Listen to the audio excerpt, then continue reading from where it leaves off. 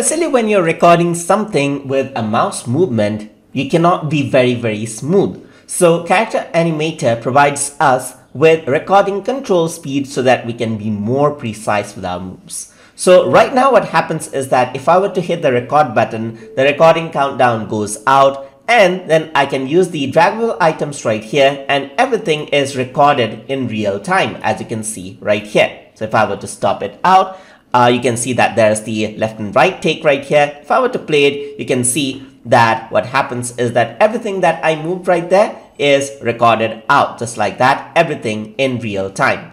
Course, I can go over here and record it out again and then overlap that, this thing out. So I can just overlap this thing. So uh, this hand and that hand is animated separately just like that. All right. So if I were to do this, you can see that there's another take right here. So if I were to play it, can see that this hand is animating and then over here, this hand will start animating together as well, just like that.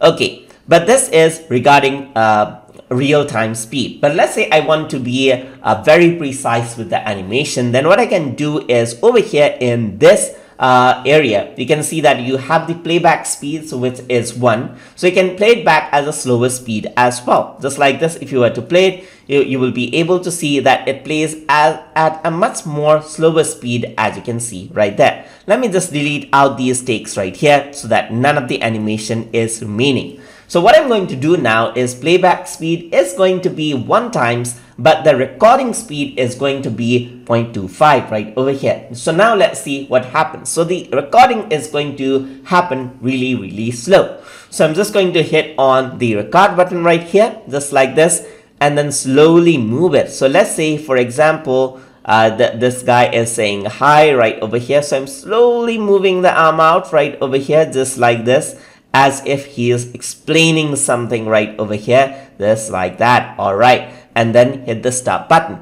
And you can see right here now when I play back, since the playback speed is 1 times, the, the recording speed is 0.25. So the, uh, so the recorded speed uh, is quite slow. But once I play back, it'll play out in a regular speed as you can see right there. So let me just stop this out right here and go back onto the beginning again and get this hand down and I'm, I want to dangle this hand a bit just like this. I'm just going to hit the record button again and dangle this hand out. So slowly dangle this hand out right over here just like this and go around and as if the hand is dangling around just like this. Alright, so it doesn't seem very still right over here and okay, now so now the stop and then what happens is that that hand keeps on dangling right here, just like that. And you can see that both of the hand is moving.